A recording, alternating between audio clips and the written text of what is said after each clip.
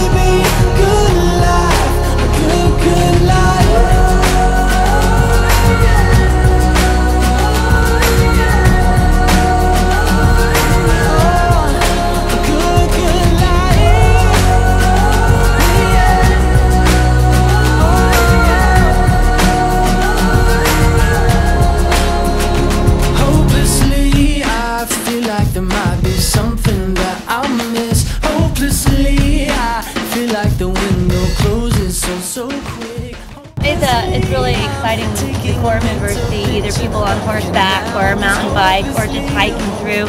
They're always excited to ask, what do you think about the trail? How do you think we've done? Do you like it? And there's always a good response. So they, they take pride in their work.